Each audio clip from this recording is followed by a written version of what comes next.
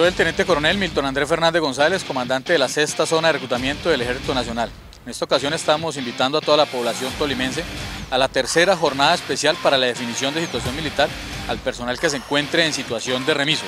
Esta jornada la desarrollaremos en el Centro Comercial Aqua en el quinto piso desde el lunes 16 de abril hasta el viernes 20 de abril en jornada continua desde las 7 de la mañana hasta las 6 de la tarde donde estarán todos los funcionarios de reclutamiento atendiendo los requerimientos de los ciudadanos tolimenses. Esto con el apoyo de la Gobernación del Tolima, la Sexta Brigada y la Quinta División del Ejército Nacional, con los cuales estamos trabajando mancomunadamente para atender esta población. Los esperamos.